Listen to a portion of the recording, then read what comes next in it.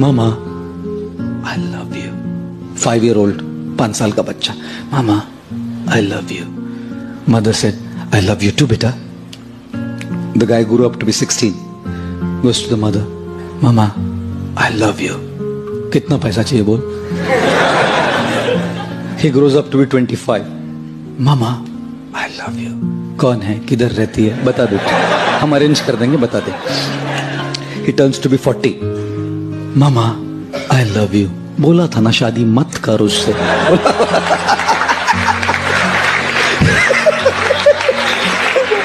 He turns 60 60 mama I love you मैं किसी भी पेपर पे साइन नहीं करूँगी तू जा।